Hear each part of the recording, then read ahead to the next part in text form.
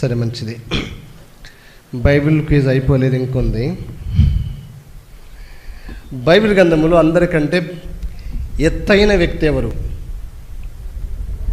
Bible గ్రంథములు అందరికంటే ఎత్తైన వ్యక్తి ఎవరు? ఎవరా గోలియాత్. ఓకే. గోలియాత్ వాళ్ళ తమ్ముని పేరేంటి?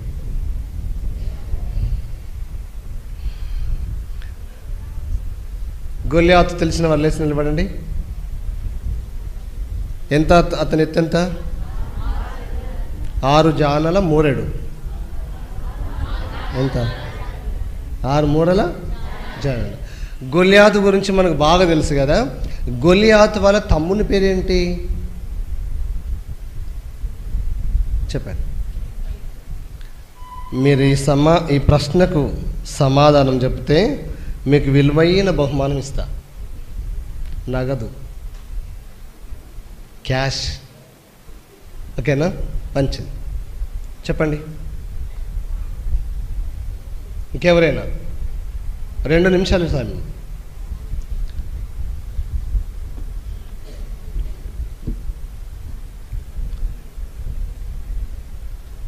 అమ్మా?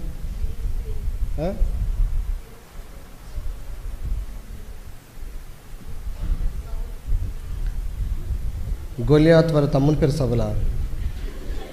ఎట్లా తల్లి? కాదు కదా? ఓకే చెప్పండి. అమ్మ? వాళ్ళు ఫిలిస్తీన్లు ఐదు జాతులు. అందులో గొలియాత్ వాళ్ళది ఒకటి.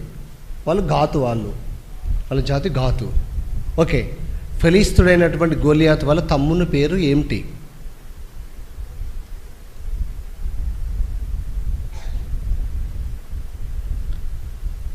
అహరోన్ వాళ్ళ తమ్ముని పేరేంటి? మోష వాళ్ళ అక్క పేరేంటి? మిరియాం వాళ్ళ తమ్ముని పేరేంటి? అంతే. గొలియాత్ వాళ్ళ తమ్ముని పేరేంటి? గొలియాత అలా ఎలా అవుతుంది? లెమియల్ అన్న వాళ్ళ తమ్ముని పేరేంటి? లెమియల్ అంటే ఇట్లా కాదు కదా?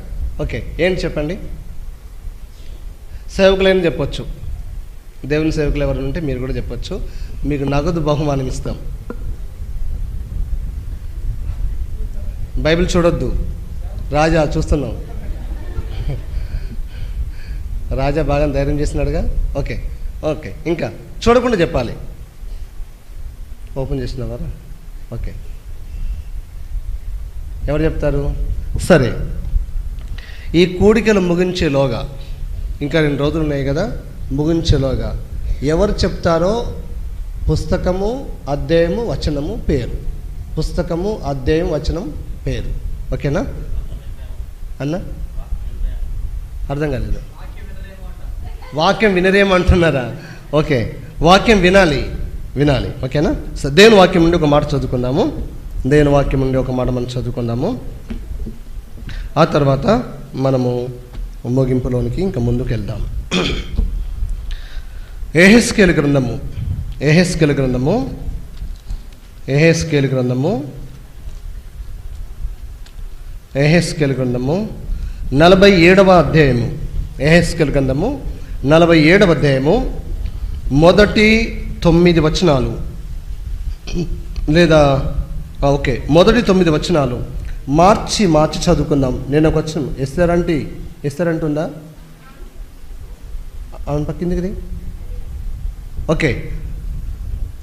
అతడు మందిరపు గుమ్మమునకు నన్ను తోడుకొని వచ్చను. మందిరము తూర్పు ముఖముగా ఉండెను. నేను చూడగా మందిరపు గడప క్రిందుంచి నీళ్ళు ఉబికి పారగా తూర్పుగా పార్చుండెను.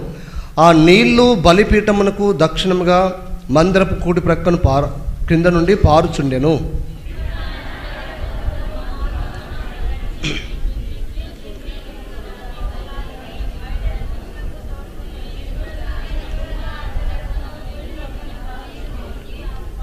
ఆ మనుషుడు కొలనులు చేత పట్టుకొని తూర్పు మార్గమున బయలువెళ్ళి వెయ్యి మూరలు కొలిసి ఆ నీళ్ళ గుండా నన్ను నడిపింపగా నేను చీలమండ లోతుండెను.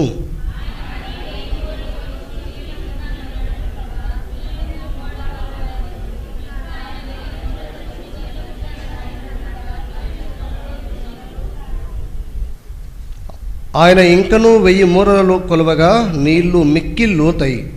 నేను దాటలేనంత నది కనబడెను. దాట వీలు లేకుండా ఈదవలసినంత నీరు గల నది ఆయను.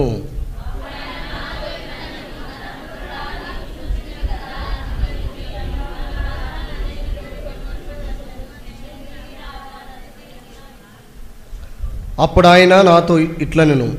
ఈ నీళ్ళు ఉబికి తూర్పుగానున్న ప్రదేశమునకు పారి అరాబలోనికి దిగి సముద్రంలో పడును. అప్పుడు సముద్రపు నీళ్ళు మంచి నీళ్ళు అగును.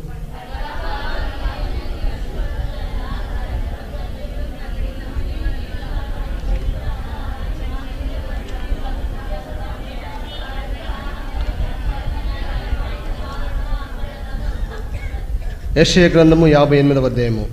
యశయ గ్రంథము యాభై ఎనిమిదవ అధ్యాయము పదకొండవ వచనము. యశయ గ్రంథము యాభై ఎనిమిదవ అధ్యాయము పదకొండవ వచనము. అందరం కలిసి చదువుకుందాం. యహువా నిన్ను నిత్యము నడిపించును. క్షామకాలము ఆయన నిన్ను తృప్తిపరిచి నియమకను బలపరచును. నువ్వు నీరు కట్టిన తోట వలెను ఎప్పుడునూ ఉబుకుచుండు నీటి ఊట వలెను ఉండేదవు. చాలు. ఈ రెండు భాగాలు యషయ గ్రంథములో ఇస్రాయిలు ప్రజలను ఉద్దేశించి దేవుడు చెప్పిన మాట. దేవుని ప్రజలైనటువంటి వారికి ఒక ఆశీర్వాదకరమైనటువంటి వాగ్దాన మాట అది. నీవు నిత్యమును ఉబుకుచుండు నీటి ఊటవలను ఉండేదవు. దేవుడు జీవజల నది. తనను వదిలిపెట్టి తమ కొరకు బద్దలైన తొట్లను తొలిపించుకోవద్దు. జీవజల నదిని వారు ఆశ్రయించాలని మనకు ఆ మాట చూపిస్తుంది. అందుకే నీవు నిత్యము ఎల్లప్పుడూ ఉబుకుచుండు నీటి ఊటవలెను ఉండెదవు. ఒక విశ్వాసి ప్రభుని అంగీకరించిన ఒక విశ్వాసి కొరకు ఈ ప్రభు యొక్క వాగ్దానం ఏంటంటే మనము ఎల్లప్పుడూ ఉబుకుచుండు నీటి ఊటవలెను ఉండాలి. ఎల్లప్పుడూ ఉబుకుచుండు నీటి ఊటవలెను మనం ఉండాలి అని మనకు చెప్పబడుతుంది. రెండో మాట ఇక్కడ మనం చూస్తున్నాము ఏస్కేలు ఏస్కేలు గ్రంథము మొదటి చదివిన మాట ఏస్కేలు నలభై ఏడవ అధ్యాయము ఏస్కేలు నలభై ఏడవ అధ్యాయము. మొదటి తొమ్మిది వచనాలు ఇక్కడ మనం చూస్తున్నాము. మొదటగా దేవుని మందిరపు గుమ్మము క్రింద నుంచి తూర్పు ముఖముగా దేవుని మందిరం ఉంది. దేవుని మందిరము గుమ్మము కింద నుండి ఒక నది లాంటి లేదా ఒక ఊట ఉంది. ఈ ఊట? పారుతూ నాలుగు వంతలుగా ఇక్కడ మనం చూస్తున్నాం. ఆ విషయాలన్నీ కూడా వివరంగా మనం చూడము. దేవుని మందిరంలో ఉన్నటువంటి దేవుని మందిరము గడప కింద నుంచి ఉబ్బుకుతూ పారుతున్నటువంటి ఈ నీటి ఊట దేవుని గడప కింద నుంచి పారుతుంది. తర్వాత మొదటగా వెయ్యి మూరలు కొలిసినప్పుడు చీలమండలోతు వచ్చింది ఈ నీరు. అటు నుంచి మరలా వెయ్యి మూరలు కొలిసినప్పుడు మోకాళ్ళ లోతు వచ్చింది. అటు నుంచి మరలా వెయ్యి మూరలు కొలిసి ఆ నీళ్ళ గుండా ఏ స్కేల్ను దేవుడు నడిపిస్తున్నప్పుడు మొలలోతు వచ్చింది అటు నుంచి మళ్ళా వెయ్యి మొరలు కొలుస్తున్నప్పుడు మిక్కి లోతైన నది అయింది అంటే దాటడానికి వీలు లేకుండా ఈదగలిగినటువంటి నది అయింది ఈ నది వడిగా ప్రవహిస్తున్నటువంటి ఈ నది ఎక్కడికైతే పారుతుందో అక్కడ ఇరువైపులా ఈ నదికి ఇరువైపులా విస్తారమైన వృక్షములు చెట్లు ఉంటాయి ఈ నది ఎక్కడికి పారుతుందో అక్కడ సమస్తం బ్రతుకుతుంది. ఈ నది ఎక్కడికి పారునో అక్కడ సమస్తం బ్రతుకుతుంది. సరే ఇప్పుడు ఇక్కడ మనం చదువుతున్నటువంటి ఈ మాటలు అక్షరానుసారంగా ఎరుషులేములో ఉన్నటువంటి దేవుని మందిరము గడప కింద నుంచి రాబోయే కాలంలో పారేటువంటి యొక్క ఇది ప్రవచనం ప్రవచనం. పారేటువంటి నీరును మనకు చూపిస్తుంది. దేవుని మందిరంలో నుండి పారేటువంటి ఈ నూరు నీరు నాలుగు అంతలుగా వెళ్ళింది. మొదటగా దేవుని మందిరము తూర్పు ముఖంగా ఉంది. ఎరుషలేము మందిరం ముఖం ఎలా ఉంది? ఎక్కడుంది? ఏ దిశగా ఉంది ఇది? తూర్పు ముఖముగా ఉంది. ఎరుషలేము యొక్క మందిరము ముఖము తూర్పు ముఖముగా ఉంది. ఈ మందిరం యొక్క గడప క్రింద నుంచి ప్రవహించేటువంటి ఒక ఊట ఉంది. ఈ ఊట ప్రవహిస్తూ ప్రవహిస్తూ వెళ్తూ ఉంది. ఇక్కడ నుంచి ప్రవహిస్తున్నటువంటి ఈ ఊట ఎక్కడ కలిసింది? ఎక్కడ? అరాబా సముద్రంలో కలిసింది. ఎక్కడ కలిసింది? అరాబా సముద్రంలో కలిసింది. అక్కడికి వెళ్ళిన తర్వాత ఏం మొదటగా ఈ నదికి పారుతున్న ఈ నది ఈ నీరు నీటి ఊట దేవుని మందిరము గడప క్రిందిలో నుంచి ఉబికి పారింది. ఏ స్కేల్ను దేవుడు పిలిచి దేవదూత స్కేల్ను ఈ నీళ్ళగుండ దేవుని మందిరం గడప కింద నుంచి వెయ్యి మూరలు కొలిసినాడు. వెయ్యి మూరలు కొలిసిన తర్వాత మొదటి మూరను మొదట కొలత నుంచి వెయ్యి మూరల వరకు నడిపించినప్పుడు ఎంత లోతు వచ్చింది నీరు? చెప్పండి ఎంత లోతు వచ్చింది చీలమండ లోతు వచ్చింది అక్కడ నుంచి మళ్ళా వెయ్యి మూరలు కొలిసి నడిపించినప్పుడు మోకాళ్ళ లోతు వచ్చింది అటు నుంచి మళ్ళా వెయ్యి మూరలు కొలిసి నడిపించినప్పుడు మొలలోతు వచ్చింది అటు నుండి మళ్ళా వెయ్యి మూరలు కొలిసి నడిపించినప్పుడు మిక్కిలి లోతై ఎవరు దాటలేంత విస్తారమైన లేదా ఈదవలసినంత నది అయింది. అటు నుంచి ఈ నది పారుతూ పారుతూ పారుతూ పారుతూ అరాబా సముద్రంలో కలిసింది. ఎక్కడ కలిసింది? అరాబా సముద్రం కలిసింది. ఈ నది ఎక్కడికి పారునో అక్కడ సమస్తం బ్రతుకుతుంది. ఈ నది నీరు అక్కడికి వెళ్ళినందున ఆ సముద్రపు నీరేమైంది? మంచి నీరు అయిపోయింది ఉపయోగపడే నీరు అయిపోయింది ఈ నది ఎక్కడికి వెళ్ళిన కారణాన ఏం జరిగిందంటే ఈ నది ఎక్కడికి పారును అక్కడ సమస్తం బ్రతుకును జలచర చరములు విస్తారమవును. ఇప్పుడు ఇక్కడ మనం చూస్తాం దేవుని ఈ నది ఇంత విస్తారమైనటువంటి నది ఎక్కడ పడింది? పిల్లలు ఎక్కడ పడింది? ఏ సముద్రంలో కలిసింది? అరాబా సముద్రంలో కలిసింది. అరాబ సముద్రం అంటే ఏ దాని పే అరాబ సముద్రము అన్నారు కదా. అరాబ సముద్రం అంటే ఏ సముద్రానికి అరాబ సముద్రం అంటారు? ఓకే ఏంట్రా? ఏ సముద్రం? అరేబియా సముద్రమా? ఓకే చెప్పండి. ఏ సముద్రానికి అరాబా సముద్రం అంటారు? చెప్పండి. ఈ సముద్రానికి ఈ అరాబా అరాబా సముద్రానికి నాలుగు పేర్లు. ఈ అరాబా సముద్రానికి నాలుగు పేర్లు. అందులో ఒక పేరు అరాబా సముద్రము. అందులో ఒక పేరు అరాబా సముద్రం. సరే మీకు చెప్తాను. ఈ ఈ స- ఈ సముద్రంలో చేపలుండవు ఇప్పుడు ప్రజెంట్గా ఈ సముద్రంలో ఏమి లేవు? చేపలు లేవు పీతలు లేవు పురుగులు లేవు కప్పలు లేవు గడ్డి పరక కూడా బ్రతకదు చెట్టు చేమ గడ్డి ఏది మొలవదు ఇప్పుడు చెప్పండి మీకు అర్థమైంది అనుకుంటాను? ఏ సముద్రం? ఇలాంటి సముద్రం బైబిల్ ఎక్కడుంది? అయ్యో. అమ్మా ఎర్ర సముద్రం కాదురా. ఎర్ర సముద్రం నీళ్ళు ఉంటాయి చేపలు ఉంటాయి సమస్తం ఉంటుంది చెట్లుంటాయి. ఏ సముద్రం? అన్నా? మృత సముద్రము. కరెక్ట్ చెప్పినాడన్న? మృత సముద్రము. ఈ అరాబ సముద్రం అంటే ఏదంటే మృత సముద్రము. ఈ అరాబ సముద్రానికి నాలుగు పేర్లు అన్నాను కదా? ఒకటి మృత సముద్రము రెండవది ఉప్పు సముద్రము. మృత సముద్రము తర్వాత ఉప్పు సముద్రం. ఎందుకు మృత సముద్రం అని దీనికి పేరు వచ్చింది అంటే ఇక్కడ ఏ ప్రాణి బ్రతకదు గడ్డి కూడా మొలవదు చెట్లు కూడా మొలవు. అందుకే దానికి మృత సముద్రం. యోర్ధన్ నది నుంచి పారుతుంది ఈ- ఈ నీళ్ళు. యోర్ధన్ నది నుంచి పారుతాయి. యోర్ధన్లు చేపలు ఉంటాయి కానీ అక్కడ మాత్రం ఏముండవు? చేపలు ఉండవు ఏ ప్రాణి అక్కడికి వెళ్ళదు.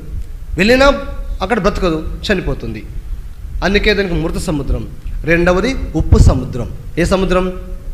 ఉప్పు సముద్రం. ఉప్పు సముద్రం అంటే సముద్రం అంతా ఉప్పుమయమే. ఎండ ఎండాకాలంలో మనకిక్కడ ఆగస్టు మాసంలో వర్షకాలం ఉంటుంది. ఇస్రాయల్ దేశంలో మూడు నెలలు వేరు ఉంటుంది వాతావరణం కాబట్టి మనకు వానకాలం వారికి ఎండాకాలం. ఇక్కడ వాన ఇక్కడ మనం వాన ఉంటుంది అక్కడ ఎండ ఉంటుంది ఎండాకాలం ఉంటుంది. భయంకరమైనటువంటి ఎండ తట్టుకోలేనటువంటి వేడి కాళ్ళు కాలిపోతాయి ఉప్పులు నడుచుకుంటూ వెళ్తే. అంత ఉష్ణత ఎక్కువ ఆ ప్రాంతం ఉంటుంది. ఆ తర్వాత దీనికి మైదాన సముద్రం అనే పేరు కూడా ఉంది. తర్వాత దీనికి అరాబ సముద్రం అని పేరుంది. సరే ఈ నాలుగు విషయాలు చూద్దాం. ఈ నీ నీటి ఊట ఎక్కడ ఆరంభమైంది? ఎక్కడ ఆరంభమైంది? దేవుని మందిరము యొక్క గడప క్రింద నుండి ఆరంభమైంది. దేవుని మందిరం గడప కింద నుంచి ఈ నీటి ఊట ఆరంభమై ఎక్కడ కలిసింది? అరాబా సముద్రములో కలిసింది. ఈ అరాబా సముద్రములో అంటే మృత సముద్రములో ఎలాంటి ప్రాణి బ్రతకదు ఇది విచి ప్రపంచంలోని విచిత్రమైన సముద్రం. ఈ సముద్రం చాలా ప్రత్యేకత ఉంది. ఇది విచిత్రమైన సముద్రం. కాబట్టి ఈ సముద్రంలో చేపలు ఇంకా పాములు బ్రతికేటువంటి ప్రాణులు ఏది కూడా అక్కడ బ్రతకదు. గడ్డి చే చెట్టు చేమ ఏది కూడా బ్రతకదు. అదంతా ఉప్పుమయం. ఈ సముద్రం ఎలా ఉంటుందంటే ఆ సముద్రంలో మనిషి కూడా మునిగిపోడు. మనిషి కూడా మునిగిపోడు. వాస్తవంగా సముద్రములలో నీళ్ళలో చెరువులలో ఏర్లలో నదుల్లో మనుషులు ముంతరం మునగరా మనం బంగాళాఖాతం చూస్తాం కదా చీరాల బాపట్ల చూస్తాం కదా అక్కడికి వెళ్ళి మునుగుతాము మనం అక్కడ మునుగుతాం. కానీ మృత సముద్రంలో ఈ అరాబ సముద్రంలో మనిషి మునిగిపోడు. మ- అక్కడ మనిషిని మునగాలంటే ఎలా చేయాలంటే ఒక రబ్బర్ బాల్ ఉంది ఫుట్బాల్ ఉంది ఈ ఫుట్బాల్ గాలి ఉంటుంది కదా ఈ ఫుట్బాల్ పట్టుకొని మనం లోపలికి నెట్టుతుంటే అదేమవుతుంది? పైకి వస్తుంది మునగదు. ఆ రీతిగానే ఈ అరాబ సముద్రంలో ఎన్ మనిషి మనిషి తనకు తాను మునగాలని ప్రయత్నించిన ఏం కాడు మునగడు పైకి వచ్చేస్తాడు పైకి వచ్చేస్తాడు ఈ సముద్రంలో పడుకొని పేపర్ చదవచ్చు. ఈ సముద్రంలో వెళ్ళకిలబడుకొని బైబిల్ చదువుకోవచ్చు. తలదిండి అవసరం లేదు. హాయిగా పడుకోవచ్చు పడుకొని పేపర్ చదవచ్చు. ఒక స్పాంజి మీద ఏ రీతికి అయితే మనం పడుకుంటామో దూది పరుపు మీద ఏ రీతిగా పడుకుంటామో ఈ సముద్రంలో ఆ రీతిగా పడుకొని బైబిల్ చదువుకోవచ్చు పండ్లు దమ్ముకోవచ్చు అద్దం చూసుకోవచ్చు ఏమైనా వేసుకోవచ్చు కానీ ఈ సముద్రం ఉన్న ప్రత్యేకత బోర్ల పడుకోవడానికి ఒప్పుకోదు. ఎలా పడుకోవాలి? వెళ్ళెకల మాత్రం పడుకోవాలి. నడుము మాత్రం లోపలికి వెళుతుంది కాళ్ళు చేతులు పై తల మాత్రం పైకి ఉంటుంది ఈ సముద్రంలో పోయిన సంవత్సరం నేను మునిగిన. పోయిన సంవత్సరం అక్కడికి వెళ్ళినప్పుడు ఈ సముద్రంలోకి వెళ్ళి నేను కూడా చూస్తున్నాను చాలా సంవత్సరం నుండి కోరిక ఉండేది ఈ సముద్రంలో ఎందుకు మునుగరు మనుషులని ఉండేది నేను కూడా వెళ్ళి ప్రయత్నం చేసినాను ఎంత ట్రై చేసినాను మృత సముద్రం మునగడానికి మునగలేదు.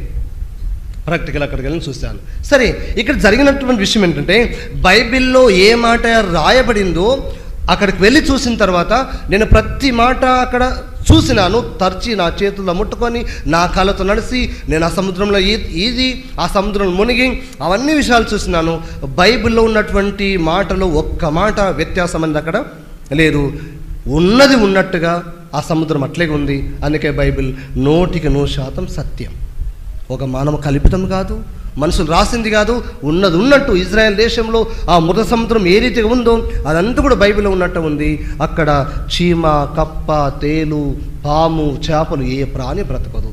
నడవలేనంత కాళ్ళు కాలుతాయి అంత భయంకరంగా ఉంటుంది. సరే ఈ ఈ సముద్రంకు ఉన్న ప్రత్యేకత అయితే ఈ సముద్రంకున్నటువంటి పేర్లో ఒక పేరు ఏంటంటే మృత సముద్రము. ఏ సముద్రం ఇది? మృత సముద్రం. ఈ సముద్రము ఈ రీతిగా ఆరంభమవుతుంది. ఎక్కడ ఆరంభమవుతుందంటే ఈ సముద్రము నీళ్ళు ఎలా వస్తాయి అనే మాట కొరకు ఇక్కడ మనం చూసిన ప్రకారంగా ఇది అంత్యకాలంలో ప్రభు రాకడ సమయంలో జరగబోయేటువంటి ఒక ప్రవచనం యొక్క దీని అర్థము. ఇక్కడ మనం చూస్తాం దేవుని మందిరం యొక్క గడప కింద నుంచి ఆరంభమైనటువంటి ఈ నీటి ఊట ఎక్కడి వరకు వచ్చేసింది? పిల్లలు వింటున్నారా? ఎక్కడి వరకు వచ్చేసింది? అరాబా సముద్రంకి వచ్చింది. ఈ నది ఎక్కడికి పారునో అక్కడ సమస్తం బ్రతుకుతుంది. ఇప్పుడు మనం చూస్తాం దేవుని మందిరము అంటే మన దే ఈ మందిరం అనుకోండి. ఒక వ్యక్తి రక్- వీటిని మనం ఇప్పుడు ఆ- ఆత్మానుసారంగా చూస్తాం. ఒక వ్యక్తి ప్రభుని అంగీకరించిన తర్వాత మొట్టమొదట ఆ వ్యక్తి దేవుని మందిరంలోని చేర్చబడతాడు. ఎక్కడ చేర్చబడతాడు? దేవుని మందిరంలో చేర్చబడతాడు. ఈ దేవుని మందిరంలో చేర్చబడినటువంటి ఈ వ్యక్తి జీవితము ఇలా ఆరంభం అవుతుంది యెషయా గ్రంథము యాభై ఎనిమిది యాభై ఎనిమిదవ అధ్యాయము పదకొండు వచ్చి మీకు చదివించినాం. అక్కడ ఏం అంటే నీవు ఎల్లప్పుడూ ఎప్పుడును ఉబుకుచుండు నీటి ఊటవలే ఉండేదవు. దేవుని ప్రజల కొరకు దేవుడు ఒక వాగ్దానం చేస్తాడు తనను ప్రేమించిన ప్రజల కొరకు మనల్ని దేవుడు ఏం చేయాలనుకున్నంటే నిత్యము ఉబుకుచుండే నీటి ఊటవలే చేయాలనుకున్నాడు. ఇప్పుడు ఏసుకెల్ గంధం నలభై నలభై ఏడులో మనం ఏం చూసాము? ఈ ఊట ఎక్కడి నుంచి ఉబుకుతుంది? దేవుని మందిరం గడప కింద నుంచి ఉబుకుతుంది.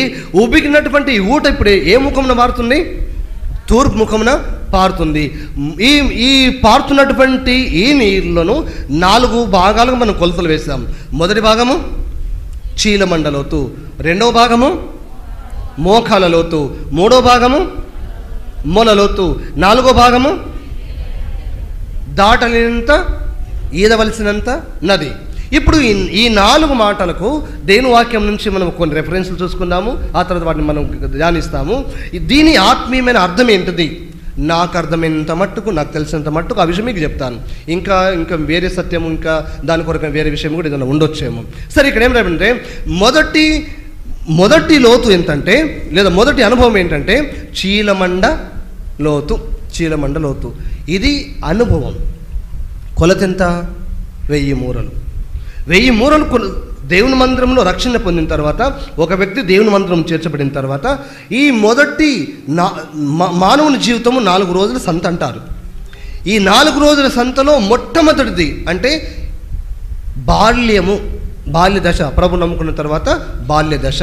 యోహాను స్వార్థ ఒకటి పన్నెండు ప్రకారంగా క్రీస్తు ప్రభు నామమున విశ్వాసం ఉంచడం ద్వారా మనం దేవుని పిల్లలుగా చేయబడం తను ఎందరు అంగీకరించడం వారికి అందరికనగా తన నామనందు విశ్వాసం ఇచ్చిన వారికి దేవుని పిల్లగుట ఆయన అధికారమును అన్నించాను ప్రభునామందు విశ్వాసం మన ముసలివారమైన వృద్ధులమైన ఇంకెవరైనా సరే ఏ రోజైతే ప్రభునామనందు మనం విశ్వాసించి రక్షించబడినామో రక్షణ పొందినామో ఆ దినం మనం బాల్య దశ. దేవుని మందిరం చేర్చబడ్డాం. ఇక్కడ నుంచి మన ఆత్మీయ జీవితం ఆరంభమవుతుంది. వెయ్యి మూరల మొదటి దశ ఆరంభమవుతుంది. ఆరంభమైనప్పుడు ఆరంభం అయినప్పుడు ఈ వెయ్యి మూరల లోతులో అంటే ఈ ఆరంభంలోనే కొలత ఎంత వచ్చింది వెయ్యి మూరలు. లోతు ఎంత చీలమండ లోతు ఈ చీలమండ లోతు మనకి చూపిస్తుంది? అనే మాటను మీకు చూపిస్తాను.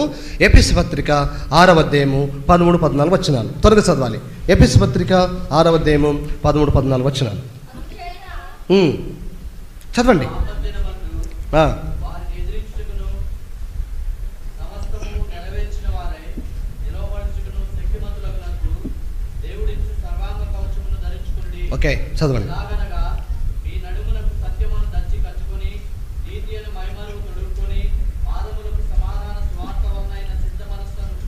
తొడుగుకొని నిలవబడి. చాలు.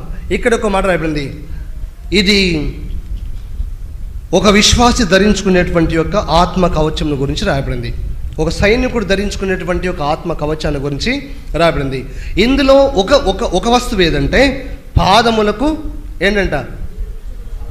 సమాధానమైనటువంటి సమాధాన సువార్తవలైనటువంటి యొక్క జోడు. దేని వాక్యం రాయబండి సువార్త ప్రకటించు వారి పాదములు పర్వతముల మీద సుందరమైనవి. చెప్పులున్న పాదము సుందరమైనవా? చెప్పు లేని పాదం సుందరం కనబడతాయా? చెప్పులున్న పాదాలు అందం కనబడతాయా? చెప్పు లేని పాదాలు అందం కనబడతాయా? చెప్పులున్న పాదాలే అందంగా కనబడతాయి. అంటే సువార్త ప్రకటించడం ఇక్కడ పాదములకు జోళ్ళు మనకేం చూపిస్తుందంటే సువార్తను ప్రకటించడము. రక్షణ పొందిన తర్వాత ఒక వ్యక్తి ఈ తాను ఎదుగుతున్నటువంటి ఈ ఆరంభ రోజులోనే ఏం ఎలాంటి స్థాయికి రావాలి అంటే సువార్త ప్రకటించేటువంటి ఒక అనుభవంలోనికి రావాలి. సువార్తను నానా విధాలుగా ప్రకటించవచ్చు. నానా రకాలుగా ప్రకటించవచ్చు. మొట్టమొదటి గుర్తుంచుకోండి. మన దేశాన్ని ప్రేమించి మన దేవుణ్ణి ప్రేమించి మాత్రమే స్వాత ప్రకటించాలి. వినండి. మన దేశాన్ని ప్రేమించి మన దేవుని ప్రేమించి క్షేమమును కోరి మాత్రమే సువార్త ప్రకటించాలి. కొందరికి సువార్త ప్రకటించమనేది మత మార్పిడిగా అనుకుంటున్నారు వారు వారికి తెలియదు. స్వార్థ ప్రకటించడము వాళ్ళ మతములు కలుపుకోవడానికి వాళ్ళు ప్రయత్నం చేస్తున్నారు అనుకుంటారు వాళ్ళకి అర్థం కాదు ఈ విషయము. కానీ స్వార్థ ప్రకటించడం అంటే అర్థం ఏంటంటే దేవునికి మానవునికి ఉన్నటువంటి వైరం తొలగిపోనట్లు దేవుడు మానవుడు ఇద్దరు సమాధాన పడగలుగునట్లుగా మనం మధ్యవర్తులుగా రాయబారులుగా వారి మధ్యకి వెళ్ళి అయ్యా మీ దేవునితో సమాధాన పడండి మీ పాపాన్ని ఒప్పుకోండి మీరు దేవుని పిల్లవుతారు అని దేవుణ్ణి దేవుణ్ణి మానవుణ్ణి ఏం చేస్తాం మనం? ఏకం చేస్తాం. ఇదేంటిది? సువార్త. రక్షణ పొందిన తర్వాత ఒక వ్యక్తి తప్పకుండా సువార్త ప్రకటించాలి. ఏం ప్రకటించాలా? సువార్త ప్రకటించాలి. సువార్త ప్రకటించడం అంటే అర్థం ఏంటంటే మత సంబంధమైన విషయాలు బోధించొద్దు. వినండి మత సంబంధమైన విషయాలు బోధించొద్దు. ఆ తర్వాత ఈ మత సంబంధమైన కార్యకలాపాల గురించి బోధించాల్సిన అవసరం లేదు. వారికి బోధించాల్సిన విషయం ఏంటంటే దేవుని ప్రేమ. ఏం బోధించాలా వారికి? దేవుని ప్రేమను గురించి బోధించాలా? దేవుని మంచితనాన్ని గురించి బోధించాలా? ఒక అవ్వ ఉంది తనకు సువార్త ప్రకటించడం రాదు. కానీ సువార్త ప్రకటిస్తుంది. బైబిల్ చదవడం రాదు కానీ చదువుతుంది. ఎలా? మీకు చూపిస్తాను. యోహాన్ స్వార్త మూడవ అధ్యాయము పదహార వచనం దగ్గర తను ఏం చేసిందంటే మసి రుద్దుకుంది. ఏం రుద్దుకుంది అక్కడ? ఆ వచనం మీద ఏం రుద్దుకుంది? మసి రుద్దుకుంది. ఎక్కడ? యోహన్ స్వార్త మూడవ అధ్యాయం పదహారు వచ్చిన దగ్గర ఏం రుద్దుకుంది? మసి రుద్దుకుంది. బస్ స్టాండ్లో బస్ స్టాండ్లో నిలబ బస్ స్టాండ్ నిలబడుతుంది. బస్ స్టాండ్లో తను ఉంటుంది. ఇతరులకు సువార్త చెప్పాలనుకుంటుంది. ఎలా సువార్త ప్రకటిస్తాను? ఉదాహరణకు మంచిగా షూట్ బూట్ వేసుకున్న వాళ్ళని చూస్తుంది జేబుకి పెన్ను అవన్నీ ఉన్న వాళ్ళని చదువుతారు వీళ్ళు అన్నటువంటి చదువు వస్తుంది వాళ్ళని చూస్తుంది. చూసి ఏం చేస్తుందంటే ఇలా తను స్వార్థ ప్రకటిస్తున్న విషయం మీకు చెప్తున్నాను. తను ఏమంటుందంటే వాళ్ళు పిచ్చి బిడ్డ కొంచెం గీ మాట చదవవా? అని అడుగుతుంది. ఏ మాట? అక్కడ అక్కడ మసిరుద్దుకుంది కదా అమ్మకి బాగా తెలుసు కదా అండర్లైన్ చేసుకుంది కదా. ఆ ఆ మాటను చూపించి గీ వచ్చిన చూడు ఇక్కడ బిడ్డ గీ చదవమంటది. అక్కడ ఏముంటుందంటే దేవుడు లోకమును ఎంతో ప్రేమించను కాగా ఆయన తన అద్వితీయ కుమారునికి పుట్టిన విశ్వాసం ప్రతివాడును నశింపక నిత్య జింపు ఆయన్ను అనుగ్రహించను. అది కాదు కాదు బిడ్డ బిడ్డ బిడ్డ కొంచెం మెల్లగా చదువు బిడ్డ ఇంత స్పీడ్గా చదువుతావు ఏంటిది? కాదమ్మా దేవుడు లోకమును ఎంతో ప్రేమించుండు. ఎవరిని ప్రేమించుండు బిడ్డ? దేవుడమ్మా లోకాన్ని ప్రేమించిండమ్మా. అవునా? దేవుడు నిన్ను ప్రే లోకాన్ని ప్రేమించండు కదా. లోకంలో నువ్వు ఉన్నావు కదా బిడ్డ. నిన్ను కూడా ఏం చేసిన దేవుడు? ప్రేమించిండు. ఆ దేవుడే తన కుమారుని యేసుప్రభాని నీ రక్షణ కొరకిచ్చినాడు ఆయన సిలువలు నీ పాపం భరించినాడు. రక్తం కాచిన చనిపోయి తిరిగిలేసినాడు నమ్ముకుంటే నీకు మోక్షం దొరుకుతుంది కొడుకు అని చెప్తుంది. ఆమెకేం రాదు? సువార్త చెప్పడం రాదు చదువు చెప్పడం రాదు చదువు చదవడం రాదు దాన్ని వివరించడం కూడా రాదు. ఎవరితో చదివిస్తుంది? వాళ్ళతోనే చదివిస్తుంది. మళ్ళీ ఎవరికి చెప్తుంది? వాళ్ళకే చెప్తుంది. మనసుంటే మార్గం ఉన్నది అంటారు లోకములు మనసుంటే మార్గం ఉందంటారు. కానీ మనం మైకులో స్వార్థ ప్రకటించకపోవచ్చు. గొప్ప గొప్ప ప్రసంగాలు మనం చేయకపోవచ్చు. కానీ మన దేశాన్ని ప్రేమించి మన దేశ ప్రజలు ప్రేమించి దేశ క్షేమాన్ని మాత్రమే కోరాలి. దాన్ని కోరి ఇతరులకు మనం ఏం అందించవచ్చు ఈ సమాధానకరమైన దేవునితో మానవునుకున్నటువంటి ఈ వైరం తొలగిపోవడానికి వైరైన సైతాన్ని నశింపజేయడానికి రెండు వేల పద్దెనిమిది సంవత్సరాలకు మేసప్రభు లోకంకి వచ్చి మానవులందరూ రక్షణ కొరకు సెలవు తన ప్రాణం అర్పించి చనిపోయి సమాచారం తిరిగిలేసినాడు ఈ సత్యమును ఈ ప్రేమ వార్తను మనం ప్రకటించడం ద్వారా దేవుడు మానవులు ఏమవుతారు? ఏకమవుతారు. ఇది సత్య సువార్త. ఈ సువార్త ప్రకటించాలి. రక్షణ పొందిన తర్వాత దేవుని మందిరం మనం చేర్చబడ్డాం. ఇక్కడ నుంచి మన విశ్వసించిన మొదటి మెట్టులోనే లేదా మొదటి కొలతలోనే మనం ఏ ప్రకటించి ఏం ప్రకటించే స్థాయిలోనికి రావాలి? దేవుని ప్రక దేవుని ప్రేమను ప్రకటించేటువంటి యొక్క స్వార్థ ప్రకటించేటువంటి అనుభవంలోనికి రావాలి. తర్వాత రెండవ కొలత. ఇక్కడ నుంచి మళ్ళీ వేమూరులు కొలిసారు. ఎంత లోతు వచ్చింది? చీలమండి అయిపోయింది. ఇక్కడ నుంచి మళ్ళీ మూలు కొలిసారు ఏ లోతు వచ్చింది? మోకాల లోతు వచ్చింది. తొంభై ఏడు కీర్తన తొమ్మిది చరణం తొంభై ఏడు కీర్తన చూడండి తొమ్మిది ఆరు. ఒక్క నిమిషం. సారీ. ఏమనుకోద్దు? తొంభై ఏడు కీర్తన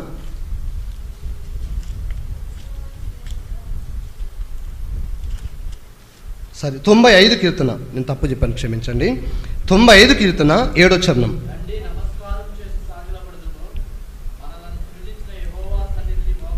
చాలు. మొదటి కొలత ఎంత? చీలమండలోతు. అనుభవం ఏంటి? సువార్త. ప్రకటించాలి. రెండవ కొలత ఎంత? మోకాల లోతు అనుభవం ఏంటి? ప్రార్థన. ఇక్కడ రండి నమస్కారం చేసి సాగిల పడదాము మనను సృజించిన యహో సన్నిధిని ఏం కావాలా? మోకరిల్లాలి. మోకరించడం అంటే అర్థం ఏంటిది? ప్రార్థన చేయడము. ఈరోజు ప్రార్థన చేయడానికి వీలైనంత ప్రతికూలమైన పరిస్థితుల గుండా మనం వెళ్తూ ఉన్నాం. ప్రార్థన చేయడానికి వీల్లేనంత అనవసరమైనటువంటి విషయాలు కూడా మనం వెళ్తూ ఉన్నాం. ఇంకా చెప్పాలంటే మోకాళ్ళు ఉండడానికి వీల్లేనంత టైట్ అయిన బట్టలు మనం వేసుకుంటున్నాం ఈ రోజులలో. మోకపిల్లల బట్టలు అయితే మరీ అధ్వానం. ప్రార్థన చేయడానికి ఇవి మోకాల మీదకి రావడానికి వీలైనంత టైట్ అయిన బట్టలు బిదురుగా ఉన్నటువంటి బట్టలు. ఏ బట్టలు? జీన్ పాయింట్లు. నేను అనుకుంటాను చెం వాళ్ళకు చెమట ఎంత పడుతుందో తర్వాత ఏమవుతుందో తెలియదు కానీ అంత గట్టి బట్టలు మోకరించడానికి రానంత గట్టి బట్టలు టైట్ అయిన బట్టలు ఆ తర్వాత వారు వేసుకున్నటువంటి అంగులు షార్ట్ మోకాల మీదకి వచ్చి మోకరిస్తే వెనకంతా టాప్ ఓపెన్ టాప్. అండ్ ఇది ఈ పరిస్థితి. దేవుని మందిరంలో కూర్చున్నప్పుడు బట్టలు ఒక మర్యాద భక్తిగా మాదిరికరంగా ఆ రంగు కానీ లేకపోతే ఉంటే ఆ బట్టలు కానీ తర్వాత ఆ సౌకర్యం కానీ మనకంత వీలైన రీతిగా ఉండాలి. తర్వాత మోకరి ప్రార్థించడం అంటే అనుకుంటాం ఏ రకంగా ఉండైనా మనం ప్రార్థన చేయొచ్చు. ఏ సందర్భంను బట్టి దారేం నడుచుకుంటూ వెళ్తే ప్రార్థన చేయొచ్చు. చెప్పులు వేసుకొని ప్రార్థన చేయొచ్చు. చేతగానప్పుడు పడుకొని ప్రాణం చేయొచ్చు అవసరమైనప్పుడు డ్రైవింగ్ చేసుకుంటూ ప్రాణం చేయొచ్చు ఏ స- కళ్ళు తెరిచి చేయొచ్చు మూసుకొని చేయొచ్చు అది సందర్భాన్ని బట్టి. అవకాశం ఉంది దేవుని మందిరానికి వచ్చినాం. ఎట్లా ప్రాణం చేయాలి మోకరించి ప్రార్థన అవకాశం ఉంది కాబట్టి మోకరించి ప్రార్థన చేయాలి. రండి నమస్కారం చేసి సాగిలపడదాము మనల్ని సృజించిన యహో సన్నిధిని మోకరించుదాము. ప్రార్థన అంటే అర్థం ఏంటిది? మోకాల జీవితమే మోకాలు ప్రార్థించాలి మోకాలు ఉంపి మనం ప్రార్థి ప్రార్థన చేయాలి. అందుకని రక్షణ పొందిన తర్వాత ఒక విశ్వాస జీవితంలో రెండవ మెట్టు ఏంటి ప్రార్థన అనుభవము. అర్థమైందా? రెండవ కొలత ఇక్కడ మనం చదివినటువంటి రీతిగా రెండవ కొలత ఏంటి? మోకాళ్ళ లోతు. అనుభవం? ప్రార్థన. రక్షణ పొందిన తర్వాత ఒక విశ్వాసి ప్రార్థించేటువంటి ఒక అనుభవంలోనికి రావాలి. రక్షణ పొందిన తర్వాత ఒక విశ్వాసి ప్రభును ప్రార్థించే అనుభవంలోనికి దేశం కొరకును దేవుని ప్రజల కొరకును ఈ లోకం కొరకును ఈ పరిస్థితుల కొరకును. దేవుని వాక్యం రాబడింది తిమోతి పత్రికలో మీరు సుఖంగాను మాన్యంగాను బ్రతుకు నిమిత్తము? చెప్పండి. రాజుల కొరకును అధికారుల కొరకును ఇంకా? రాజుల నిమిత్తమును అధికారుల నిమిత్తమును ప్రజలందరి కొరకును మనం ఏం చేయాలా? ప్రార్థన చేయాలి. అంటే ప్రార్థన బలమైన కార్యం చేస్తుంది. ప్రార్థన ప్రజల అక్కర తీర్చుతుంది. ప్రార్థన ఆకాశం నుండి ఇది మన్నాను కురిపిస్తుంది. ప్రార్థన ప్రజలను దీవిస్తుంది. ప్రార్థన తండ్రి కుమారులను ఏకం చేస్తుంది. దేవుణ్ణి మానవులను ఏకం చేస్తుంది. ప్రార్థన వర్షాలు కురిసేటట్టు చేస్తుంది. ప్రార్థన మన దరిద్రం తొలగిపోయేటట్టు చేస్తుంది. ప్రార్థన మనకు నెమ్మదిస్తుంది. ప్రార్థన రోగిని స్వస్థపరుస్తుంది. అందుకని ప్రార్థన చా క్రైస్తవ జీవితంలో ప్రార్థన చాలా ప్రాముఖ్యమైనది అందుకని తప్పకుండా ప్రతి క్రైస్తవుడు ఏం చేయాలంట? మోకరించి ప్రార్థించాలి. మోకరించి ప్రార్థించడం ద్వారా దేవుడు మన ప్రతి ప్రార్థన వింటాడు. మోకాలు నొప్పులు ఉన్నాయి నడుము నొప్పులు ఉన్నాయి మో వయసు ఎక్కువైపోయింది లేదా యవనస్తులు కూడా ఆరోగ్యం బాగలేదు మోకరించలేరు అదేం తప్పు పెద్ద తప్పు కాదు. కానీ అన్ని అనుకూలంగా ఉన్నప్పుడు మనం అవకాశం ఉంది అన్ని అనుకూలంగా ఉన్నాయి తప్పకుండా ఏం చేయాలంట? ప్రార్థించాలి. అందుకని దేని వాక్యం మనం అనేక మందిని చూస్తుంటాము. ఎంతోమంది ప్రార్థించిన ప్రార్థన పరల గురించి మనం చదువుతాం. ప్రపంచంలో ఎంతోమంది మిషనరీస్ ఉన్నారు ఎంతోమంది ప్రార్థించిన వారు ఉన్నారు. అందరికంటే గొప్పగా దేవుని దాసుడు పెద్ద ఆయన భక్సింగ్ గారి గురించి మనం వింటాం. అదే అవసరం ఉన్నాం కాబట్టి. ఆయన ప్రార్థన లేకుండా ఇంకా ఏమి చేసేవాడు? కాదు. పెద్ద పెద్ద కాన్వికేషన్స్ కానీ ఇంకేం కానీ ప్రతిదానికి ప్రార్థన చేసేవారు. దేవుని దాసులైనటువంటి పెద్ద మంది కొ- పెద్ద మంది ఉన్నారు. వాళ్ళ పరిస్థితుల కొరకైనటువంటి రాస్తాన్ని అడిగేవారు. నీ పరిచర్య నీ పరిచర్య అభివృద్ధి పొందడం గల కారణం ఏంటిది? అంటే ఆయన మూడు సమాధానం చెప్పినాడు. ప్రార్థన ప్రార్థన ప్రార్థన. ఇది సమాధానం. అందుకని రక్షణ పొందిన తర్వాత ఒక విశ్వాసి ప్రార్థించేటువంటి అనుభవంలోనికి రావాలి. మూడవ మూడవ మూడవ మాట.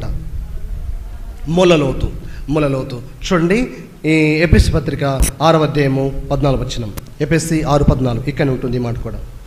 చదవండి.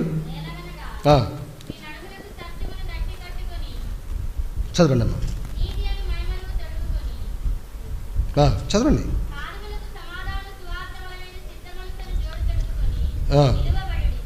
ఓకే ఇక్కడ కూడా మనం చూస్తున్నాము ఏం చూస్తున్నామంటే మీ పాదములకు సరే మీ నడుమునకు సత్యమనే దట్టిని కట్టుకొనుడి. అంటే ఈ మాట మనకేం చూపిస్తుంది? మూడవ మూడవ కొలత ఏంటి? మొలలోతు. అనుభవం ఏంటి? సత్యము. అర్థమైంది కదా? మూడవ కొలత ఎంత? మొలలోతు. మూడవ అనుభవము సత్యమనే దట్టి. మొల అంటే నడుము.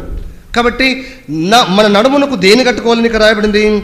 సత్యమనే దట్టి కట్టుకోండి. మన పాట పాడతాం కదా. సత్యమే నీ నడికట్టు తొలగు అబద్ధము నుండి సత్యమునే మనము నడికట్టుగా ధరించుకోవాలి. కాబట్టి సత్యమును నడికట్టుగా ధరించుకోవాలి. అంటే ప్రతి విధమైనటువంటి అబద్ధానికి దూరంగా జీవించాలి. దేని వాక్యం రాయబడింది? అబద్ధమాడు పెదవులు ఏహోవాకు హేయములు. మన పెదవులతో అబద్ధం ఆడడానికి వీల్లేదు. దేవుని ఆశలు అంటారు దేవా గొర్రెలు ఎద్దులు మేకలను బలర్పించడం నా దగ్గర లేవు. మా పెదవులను మీకు అర్పిస్తున్నామని చెప్తారు. కాబట్టి మన పెదవులతోటి అబద్ధం మాట్లాడొచ్చా? అబద్ధమాడే పెదవులు దేవునికి ఏమైనవి సత్యమే మాట్లాడాలి. లోకంలో చెప్తారు కదా సత్యమేవ జయతే అంటారు. జయించాలంటే ఏం కావాలి? సత్యం కావాలా? ఈశ్వరుడు చెప్పినాడు నేనే మార్గమును సత్యమును జీవమును. అంటే ప్రతి విధమైనటువంటి అబద్ధం నుంచి దూరంగా తొలగిపోవాలి. ప్రతి విధమైనటువంటి అబద్ధానికి దూరంగా తొలగిపోవాలి. మన దేశాన్ని నాశనం చేసే మనుషులు కూడా అబద్ధికులే నాశనం చేస్తారు. ఒక సంఘాన్ని నాశనం చేయాలన్నా ఒక కుటుంబాన్ని నాశనం చేయాలన్నా మన దేశాన్ని నాశనం చేయాలన్నా ఎంతోమంది అబద్ధికులు లంచగొండితనం కలిగినటువంటి వారు మాత్రమే దేశానికి ఎంతో నష్టం కలిగిస్తారు. కానీ ఒక నిజాయితీ పరుడు ఒక నీతిమంతుడు దేశాన్ని ప్రేమిస్తాడు కుటుంబాన్ని ప్రేమిస్తాడు సంఘాన్ని ప్రేమిస్తాడు సమాజాన్ని ప్రేమిస్తాడు. అబద్ధము చాలా ప్రమాదకరమైంది. ఒక్క అబద్ధం ద్వారా లేదా ఒక్క అబద్ధ సాక్ష్యం ద్వారా కుటుంబాలు కుటుంబాలు కూలగొట్టవచ్చు కోట్లు చూడండి. ఏ సాక్ష్యం ఇస్తారు? ఏ సాక్ష్యం? అబద్ధ సాక్ష్యాలు ఇస్తారు. వారు నమ్మినటువంటి దేవునికి సాక్షిగా ఆ గ్రంథం మీద ప్రమాణం చేసి చెప్తారు. ఏమని? ఉదాహరణకు బైబిల్ ఉందనుకోండి. ఏమని ప్రమాణం చేస్తారు? నేను నమ్మినటువంటి దేవుని మీద ఒట్టేసి చెప్తున్నాను. అబద్ధం ఏమి చెప్పును? సత్యమే? వాడు అప్పుడు అనుకుంటాడు. సత్యం ఏం చెప్ప అబద్ధమే చెప్తా అనుకుంటాడు వాడు. అందుకని ఏం చెప్తాడు? వాడు అబద్ధమే చెప్తాడు. డబ్బుకు అమ్ముడు పోయి అబద్ధ సాక్ష్యం ఇస్తాడు. తర్వాత చిన్న చిన్న విషయాలకు భయపడి అబద్ధ సాక్ష్యం ఇస్తారు. దేవుని వాక్యం చెప్తుంది మన దేశం క్షేమంగా ఉండాలన్నా మన సమాజం క్షేమంగా ఉండాలన్నా మన కుటుంబాలు క్షేమంగా ఉండాలన్నా అబద్ధం మా ప్రాణం పోతుంది అంటే కూడా అబద్ధం మాట్లాడకూడదు. సత్యం మాట్లాడాలి. అందుకని మూ మూడవ లోతు ఎంత? ఎక్కడ? మూల లోతు. అనుభవం ఏంటి? సత్యం. ప్రతి విధమైన ప్రభు నమ్మినటువంటి ప్రతి వ్యక్తి ప్రతి విధమైనటువంటి అబద్ధానికి దూరంగా జీవించాలి. అర్థమవుతుంది కదా? ప్రభు నమ్మినటువంటి ప్రతి వ్యక్తి ప్రతి విధమైనటువంటి అబద్ధానికి అసత్యానికి దూరంగా జీవించాలి. మనం చెప్పాల్సింది ఏంటంటే అబద్ధము నేను చెప్పలేను నేను సత్యమే మాట్లాడతాను. ఇది మనం కలిగి ఉండాలి. ఇలాంటి దృక్పథం మనం కలిగి ఉండాలి. నాలుగో నాలుగవ లోతు? మిక్కిలి లోతు. అంటే ఈదలేనంత నది అయింది నది అయింది? ఈదవలసినంత నది అయింది. ఈ మాట యోగు గ్రంథంలో ఒక మాట మీకు చెప్తాను. విస్తారంగా పార పారేటువంటి ఈ నది ఏం చేస్తుందంటే విస్తారంగా పారేటువంటి ఈ నీళ్ళు ఏం చేస్తుందంటే దుమ్మును ధూళిని కొట్టుకొని పోతాయి. ఇప్పుడు చిన్న చిన్న చినుకుడు పని అనుకోండి ఏమవుతుంది? అంత బురద అవుతుంది అదే విస్తారంగా వర్షం పడింది అనుకోండి గొప్ప వరద పారింది అనుకోండి ఏమవుతుంది? యోపు గ్రంథం నా మాట ఉంది. ఎక్కడ ఒకసారి తీస్తారా పద్నాలుగు అధ్యాయం అనుకుంటాను.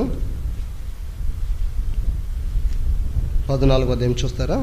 అక్కడ ఒక ఓకే పద్నాలుగు అధ్యాయము పంతొమ్మిది వచ్చినాం ఎక్కడ నాన్న? జలము రాళ్ళను అరగదీయును. ఇక్కడ ఏం రాయబడిందంటే దాని ప్రవాహము అంటే జలము ప్రభా ప్ర- ప్రవాహం ఏం చేస్తుంది? దుమ్మును ధూళిని కొట్టుకొని పోతుంది. విస్తారంగా పారేటువంటి ఈ నది ఏం చేస్తుంది? ఇరుపక్కల ఉన్నటువంటి దుమ్మును ధూళిని తీసుకొని కొట్టుకొని పోతుంది. అంటే పరిసరాలని శుభ్రం చేస్తుంది. పరిసరాలను ఏం చేస్తుంది? శుభ్రం చేస్తుంది. ఈ రోజున మనం చెప్పుకుంటే స్వచ్ఛ భారత్ చేస్తుంది. ఏ భారత్ చేస్తుంది? స్వచ్ఛ భారత్. లేదా స్వచ్ఛ వరగాని. స్వచ్ఛ గుంటూరు అని చెప్పచ్చు. స్వచ్ఛ భారత్ చేస్తామని చెప్పేటువంటి మనుషులు మన దేశాన్ని మన పరిసరాలను ఎట్లా ఉంచుకోవాలంట? అనుభవం నాలుగో అనుభవం ఏంటంటే దాటలేనంత నది. లోతు నాలుగో లోతు. అనుభవం ఏంటిది? అంటే మనమున్నటువంటి ప్రతి ప్రాంతంలో ఏం చేయాలంట? శుభ్రతను ఉంచాలి.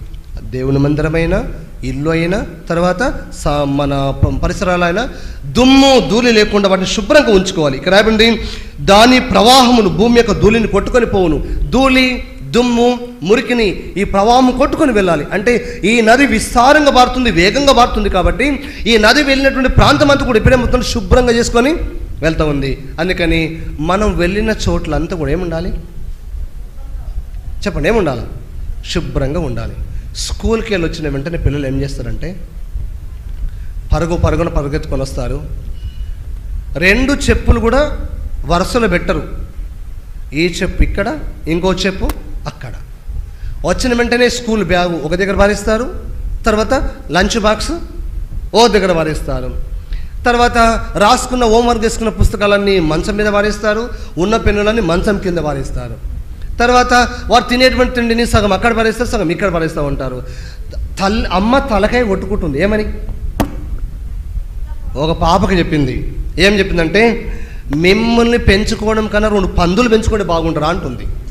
ఎవరిని పెంచుకోవడం కంటే? మీ పిల్లలు పెంచుకోవడం కంటే రెండు పందులు పెంచుకుంటే బాగుండు అంటుంది. అంటే ఇంత విసుకొచ్చే పనులు తల్లిదండ్రి విసుకొచ్చేంత పని స్కూల్లో శుభ్రత ఉంచరు ఇంట్లో శుభ్రత ఉంచరు ఇంకా ఎక్కడ శుభ్రత ఉంచరు మందిరంకి వస్తుంటారు ఒక పేపర్ తీసుకుంటారు రాస్తారు ముదురుతారు ఇడు పడేసిపోతారు. ఎవరు లేపేయాలి అవన్నీ?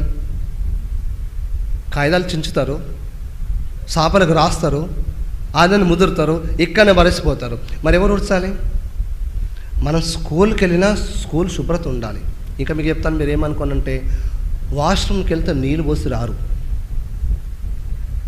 మల విసర్జన చేస్తే నీళ్ళు పోయరు. ఎట్లా శుభ్రంగా ఉంచుకుంటారు పరిసరాలు?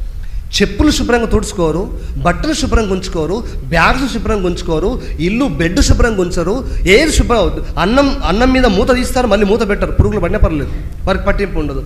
మనం ఉన్నటువంటి ఒక క్రైస్తవ పిల్లగా చెప్తు విశ్వాసగా చెప్తున్నాను విశ్వాసంగా చెప్తున్నాను మనం ఉన్నటువంటి ప్రతి స్థలంలో దుమ్ము ధూళి ఉండకూడదు. ఎట్లుండ ఎలా ఉండాలా? శుభ్రంగా ఉండాలి. మన స్కూల్ శుభ్రంగా ఉండాలి. తర్వాత ఇల్లు శుభ్రంగా ఉండాలి. తర్వాత మందిరం శుభ్రంగా ఉండాలి. మనసు కూడా శుభ్రంగా ఉండాలి. ఇంకా చెప్పాలంటే ఎక్కడ శుభ్రంగా ఉంటే అన్నీ శుభ్రంగా ఉంటాయి. ఎక్కడ చెడిపోయిందంటే అన్నీ చెడిపోతాయి. మన ప్రధానమంత్రి గారు స్వచ్ఛ భారత్ అనే ఒక ప్రోగ్రాం పెట్టినాడు. ఏ భారత్ ఇది? స్వచ్ఛ భారత్ అని ప్రోగ్రాం పెట్టినాడు. అంటే స్వచ్ఛ భారత్లో ఏం చేయాలా? పేపర్లో రావడానికి ఫోటోలో లేకపోతే టీవీలో రావడానికి చీపులు పట్టుకొని ఊడ్చుడు కాదు. ముందు కొంతమంది అయితే మరీ అధ్వానంగా ఉంటారు. వారి ఇల్లు మాత్రం బాగా నుంచుకుంటారు వాళ్ళ ఆకిలు బాగా నుంచుకుంటారు తీసుకెళ్ళి వేరే వాళ్ళ ఆకిట్లు వేస్తారు. వాళ్ళ వీధిని బాగా ఉంచుకుంటారు వేరే వాళ్ళ వీధిని మురికి చేస్తారు. అది కాదు మనం ఎంత శుభ్రంగా ఉన్నామో మన పక్కవాన్ని కూడా అట్లాగే చూడాలి. మనం ఏ రీతికి ఉండాలనుకున్నామో మన పక్కవాన్ని కూడా ఆర్థికంగా మనం ఉంచాలి. నాలుగో లోతు ఎంత? నాలుగవ లోతు ఎంత? దాటలు నది అనుభవం ఏంటి? శుభ్రత. కాబట్టి మనం శుభ్రంగా ఉండాలి. ఇంకో మాట చెప్పాలంటే పరిశుభ్రంగా ఉండాలి. పరిశుద్ధంగా ఉండాలి. కల్మషం లేకుండా ఉండాలి. దుర్మార్గత అనేటువంటి ధూళి లేకుండా ఉండాలి. మురికి అనే పాపం లేకుండా ఉండాలి. ఈ నది విస్తారంగా పారుతుంది కాబట్టి అక్కడ సమస్తం బ్రతకాలి. కాబట్టి మనం వెళ్ళినటువంటి ప్రతి చోట ఆశీర్వాదమే రావాలి కానీ ఏం రాకూడదు? శాపం నష్టం ఏది కూడా రాకూడదు. ఉదాహరణకు యోసేపు ఉన్నాడు. యోసేపు వాళ్ళ అన్నల దగ్గర ఉన్నంత కాలం వాళ్ళ అన్నల ఇల్లంతా కూడా ఎట్లుంది? తండ్రి ఇల్లు దీవించబడింది. యోసేపు ఐగుప్తుకు బానిసగా అమ్మబడ్డాడు.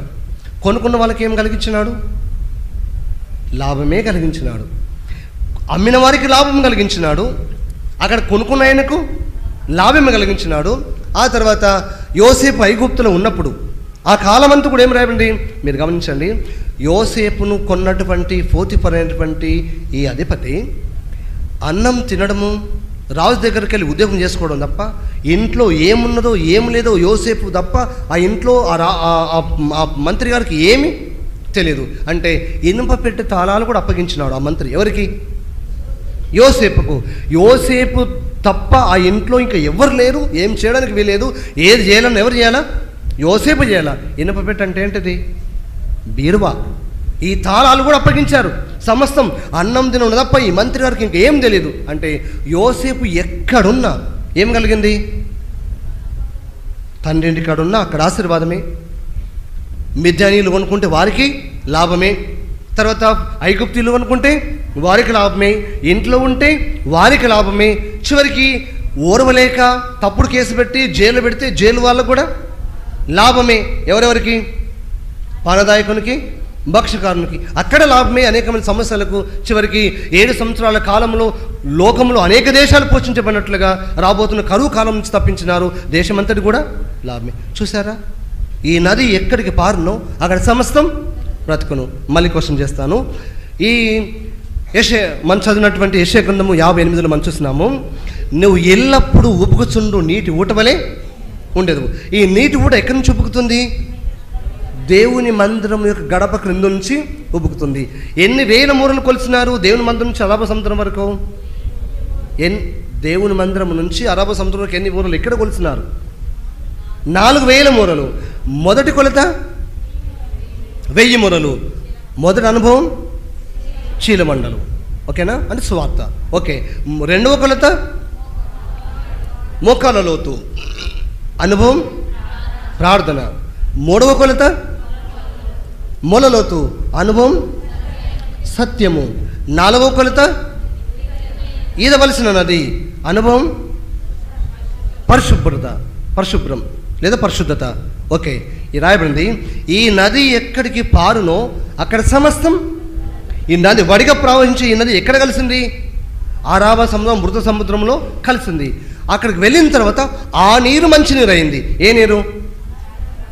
నేను ఎరుశలేం వెళ్ళినప్పుడు ఈ ఈ మృత ముఖ్యమైనటువంటి స్థలాలన్నిటి నుంచి నీళ్ళు తీసుకొచ్చినాను. ఎర్ర సముద్రం నుండి మృత సముద్రం నుంచి మధ్యధర సముద్రం నుండి యోర్దాన్ నది నుండి గలే సముద్రం నుంచి ఒక్కొక్క బాటిల్ హాఫ్ లీటర్ బాటిల్ నుండి కూడా వాటర్ పట్టుకొచ్చినాను. అన్ని చో- తర్వాత ఎరుకో నుండి ఎలిష ప్రాణించిన నీళ్ళు అన్ని ఇట్లా పట్టుకొచ్చినాం. ఏ నీళ్ళైనా రుచి చూడొచ్చు కానీ మృత సముద్రం నీళ్ళని ఇప్పటిదాకా ఇంట్లో పెట్టినాం రుచి చూడడానికి వెళ్ళేది ఏ నీళ్ళను అవసరమైతే అన్ని నీళ్ళు తాగేస్తున్నారు మా ఇంటర్లో అంటే అదే యోర్ధన్ నది నీళ్ళు నజరేత నీళ్ళు గలే సముద్రం నీళ్ళు అన్ని నీళ్ళు లాగేసినారు. కానీ ఈ నీళ్ళు ముట్టుకోవడానికి లేదు. చూడడమే. కానీ ఏం చేయొద్దు? తాగొద్దు ఎందుకు? చచ్చిపోతారు. విషపూరితమైనటువంటి నీళ్ళు. ఆ సముద్రంలో ఇంతవరకు మునిగి సచ్చినోడు ఒక్కడు లేడు. కానీ ముక్కులోకి కళ్ళలోకి నోట్లకు నీరు పోయి సచ్చినోడు చాలామంది ఉన్నారు. అయితే ఈ సముద్రం ఇంత విచిత్రమైన సముద్రము లేకపోతే అంత మృదు సముద్రము కానీ ఏ రోజైతే దేవుని మందిరం నుంచి ఈ నీళ్ళు వడిగా ప్రవహించి అందులో పడినాయో ఆ నీరు ఇప్పుడు ఏమైపోయింది? ఇప్పుడు అనుభవం ఏంటంటే దేవుని మందిరం నుంచి మనము ఒక జీవజల నది వలె పారాలి. మొదటంతగా మనం ఏం చేయాలి? స్వార్థ ప్రకటించే అనుభవంలోనికి రావాలి. రెండవది ప్రార్థన పనులు కావాలి. మూడవది సత్యమును చెప్పే అనుభవంలోనికి సువార్తను దాచడం ప్రభుని దాచడం కూడా అబద్ధమే అవుతుంది. అర్థమవుతుందా? సత్యం ప్రకటించే అనుభవంలోకి రావాలి? సత్యం కలిగి ఉండే అనుభవంలోకి రావాలి? నాలుగవది పరిశుద్ధంగా జీవించడం పరిశుభ్రతను పాటించిన అనుభవంలోనికి రావాలి. తర్వాత ఈ నది అంటే మనమే. ఈ నది ఎక్కడికి బారున్న అక్కడ సమస్తం బ్రతకాలి. ఎక్క బంధువుల మధ్యకి వెళ్ళే వాళ్ళకి క్షేమం కలగాలి. స్నేహితుల దగ్గరికి వెళ్ళి వాళ్ళకి క్షేమం కలగాలి. మేలే చేయాలి కానీ కీడే మాత్రం చేయకూడదు మన ద్వారా. ఆ తర్వాత మృత సముద్రం లోకానికి సూచన చూపిస్తుంది. ఈ లోకం మృత్యువులో ఉంది.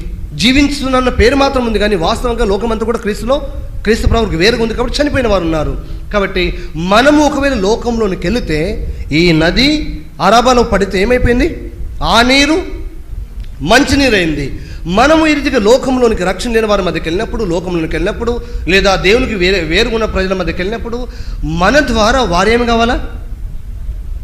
చెప్పండి ఏం కావాలా? బ్రతకాలి. జీవాన్ని కనుగొనాలి. క్షేమాన్ని కనుగొనాలి. తర్వాత వాళ్ళు అనాలి మీరు అపరాధం చేతను పాపం చేతను చచ్చిన వారై ఉన్నారు. వారు మన ద్వారా ఈ స్వార్థ ద్వారా వారేం కదా? బ్రతకాలి. అర్థమైంది కదా? అయితే అందుకే దేవుడు మనల్ని రక్షించిన తర్వాత స్థానిక సంఘములు చేర్చినాడు సార్వత్రిక సంఘములు అంగంగా చేర్చినాడు. ఈ నది ఎక్కడికి పారును అంటే మనం అనుకున్నాం. మనం ఎక్కడికి వెళ్ళినా అక్కడ సమస్తం బ్రతకాలి. మళ్ళీ క్వశ్చన్ చేస్తాను. మొదట మొదటి కొలత ఎంత? బ్రదర్స్ మాత్రం బ్రదర్స్ చెప్పాలి. మొదటి కొలత ఎంత? వెయ్యి మూరలు. మొదటి అనుభవం ఎంత ఏంటి? సువాత ప్రకటించాలి. ఓకే. రెండవ అనుభవం రెండవ కొలత ఎంత? మోకాళ్ళలోతు అనుభవం ఏంటి? ప్రార్థన కావాలి చేయాలి. మూడో అనుభవం ఏంటి? మూడవ లోతు ఏంటి? నడుము లోతు. అనుభవం ఏంటి? సత్యం. ఓకే. నాలుగో అనుభవం లోతు ఎంత?